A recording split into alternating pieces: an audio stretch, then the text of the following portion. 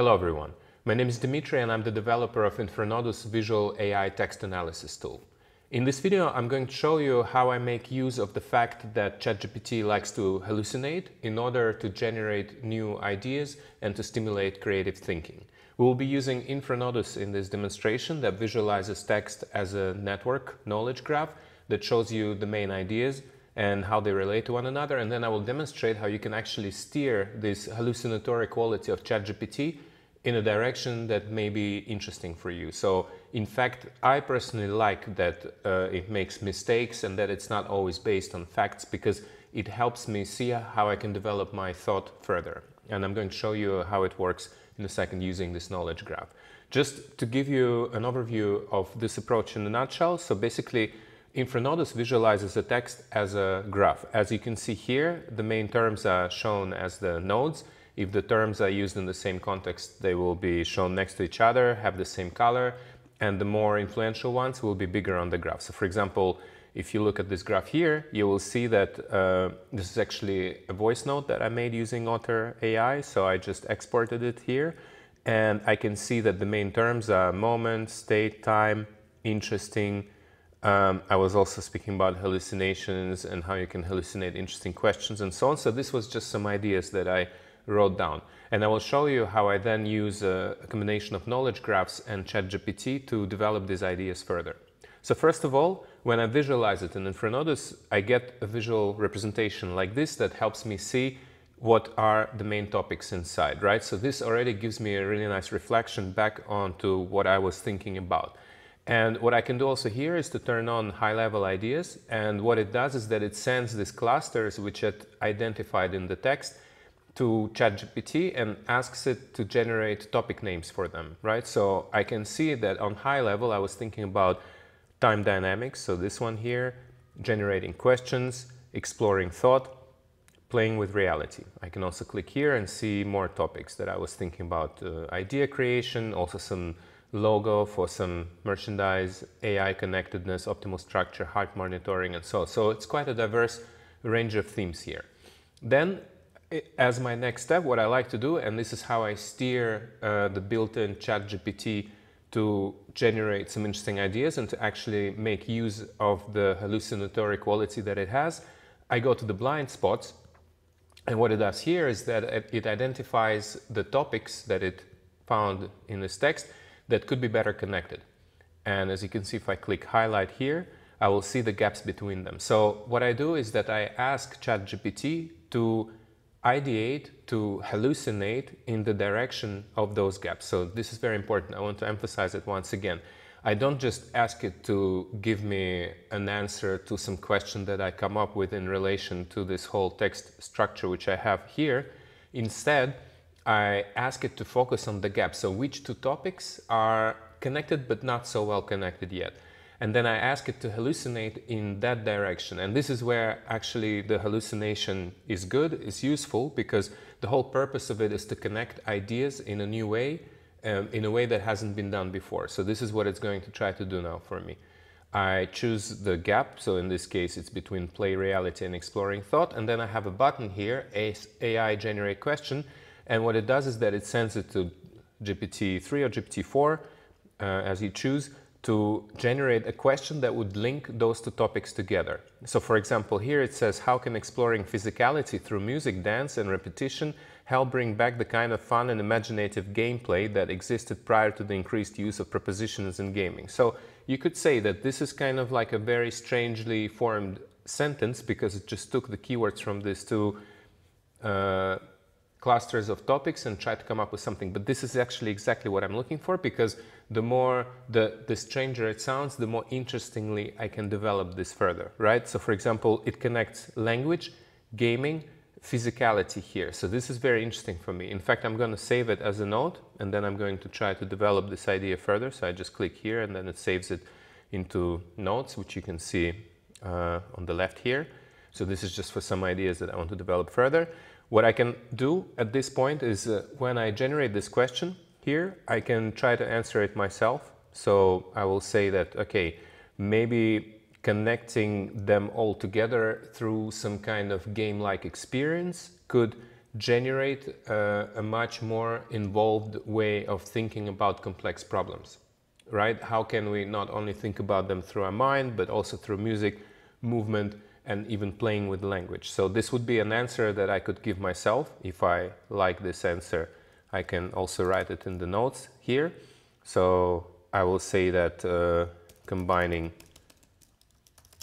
music and movement with language games can help develop interesting experiences for learning. So I can do this manually, and this is how I like to use the AI to not have it generate the answers for me, but to hallucinate some questions that could uh, connect ideas in new and interesting ways, right? But I can also say that I want the AI to elaborate on its own questions. So I'm going to click here and then I'm going to say, okay, now try to elaborate on this question, develop some idea uh, from what you just generated here, right? So then I'm going to send this question to GPT-4, and then it's going to try to answer this question to me myself. So there I have this human in the loop approach that I was showing in the previous video that I posted on brainstorming during, uh, using ChatGPT, but in this case, um, we already have a, like an existing text that we're working with. And so in this case, it says uh, that we can combine it with the structure of repetition and gameplay uh, and encourage uh, kind of fun experiences and creative experiences during uh, our interactions.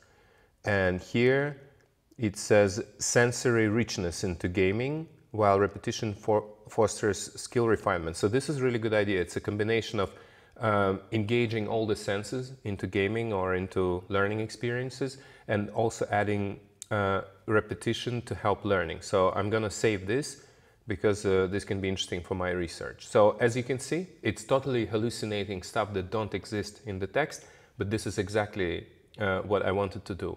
And this is a big difference from other tools where you can upload uh, your ideas and then start prompting them because in this case, you're just generating uh, what's already inside the text. Here, we're focusing on the gaps between the topics and we're generating ideas that are not yet in the text. We're using the text structure uh, to find what lacks inside and then we create prompts that would address those gaps and help us generate new ideas. So this is why hallucinations in this case is actually something good. And this, I think, is like a very interesting way of using AI as well. And to even make use of this thing that some people think is a fallacy that it's not always factual, right? In this case, we actually want that because we want to create new ideas. So here in this case, we have another cluster, idea creation and play reality. So as you can see, these are two clusters that were in my original text, but they're not very well connected. So again, I'm going to ask the AI to generate a question that would link them together in an interesting way. And I might have to reiterate through a few.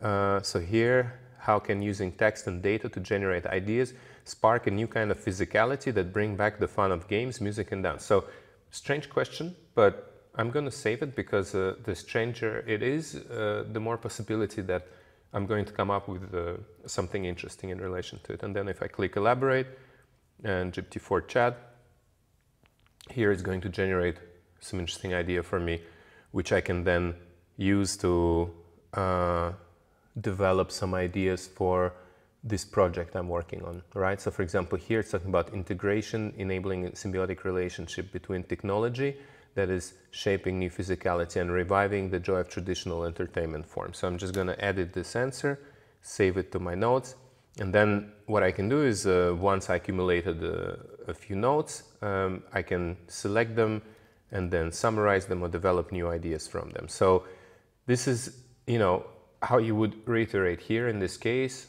again, highlight the network and then reiterate through different clusters of ideas to see which ones of them are not connected enough and then asking the AI to generate content that would bridge those ideas for you, right? So I usually like to manually look into the ones that are not so well connected and the ones that spark some interesting ideas just when I look at them like idea creation and, and, and, and adaptive logo in this case. So this sounds very strange.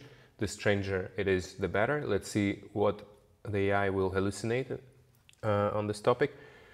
Fractal optimization using to give small scale pocket logos interesting written impulses to start ideas and writing based on similar data. So sounds strange, but because I know what, what it's talking about, it gives me an idea. Okay, actually, what about using some printed logos on merchandise uh, in a way that when you scan them, for instance, you could uh, engage into some short interaction that would actually make you learn something or generate new ideas. So again, the stranger it sounds, the better, because it can stimulate you to think in a direction that you wouldn't have thought of before. So this is why even by default, by the way, uh, we use GPT-3 here to generate questions because we want them to be formed slightly, uh, like not perfectly, because it's in this imperfection that uh, human Im imagination can then fill in this uh, content with uh, some interesting ideas because the the point here is to generate new ideas and to be more creative. So this is why we save this also into our list and continue developing them further. So try out this approach on infranodus.com. Uh, blind spots, generate uh, insights here, and then reiterate through the gaps that you find and see how it works for you.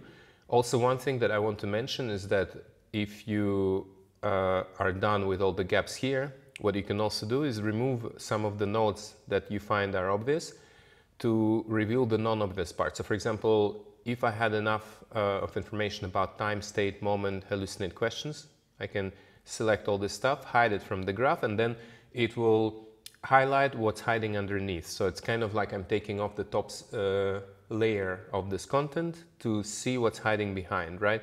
So maybe this word bring also uh, and then I can generate high-level ideas to see uh, what's going on here in terms of the content. And by the way, you should always aim for semantic variability diverse. This you can turn on if you click here, advanced mode. You also have this information here. So you want this to be in the green because it means that the structure of the text is diverse enough or optimally diverse in the sense where you can uh, pick different topics inside and uh, find gaps between them. Because if it's too interconnected you will not have so many gaps. So this is why we use the sensor of topical diversity to show when the structure is optimal and to reach that you just remove nodes to make the network less connected until you get to the point where you feel like okay now you're dealing with the interesting specific nuanced enough topics that help you generate ideas right so here I have fractal optimization, generative dependency, data inference, AI connectivity. So great, it's getting much more technical. I go into blind spots again, highlight the network, and then, so for example, these two, they're, they're next to each other. Uh, they could be better connected, but I will reiterate and see if there is some more that are less connected. So for example, this dynamic play, visual deviation. Great, very strange. The stranger the better in my case let's ask the AI to hallucinate some interesting question. Okay, uh, which dynamic levels of physicality, kind of fun and visualized repetition can be explored through music, gameplay and dance. Okay, great. So dynamic levels of physicality and repetition through dance and play. So this I can also save and explore further. If I don't want to have the question, I can also click here, next advice, and then I can ask it to actually develop an idea. So if I click on GPT-4 chat, it's going to come up with an idea, a ready-made idea that I can also use in my workflow. I like questions because I like to answer them and to engage in the thinking process, but if you prefer or if you don't have time, you can also use the answers and generate them like that. So here we go. Then I switch to the different gaps and kind of reiterate through this process until I gather enough of interesting ideas. And then usually I would make a new graph from them and then uh, develop them into a coherent narrative if it's a text that I'm working on, or try to come up with a product idea if it's a product that I'm developing. Try it out on infranodus.com. Let me know how it works. If you have any questions uh, or comments, please leave them below. And uh, also don't forget to subscribe so that you get informed about the new videos. Thank you very much.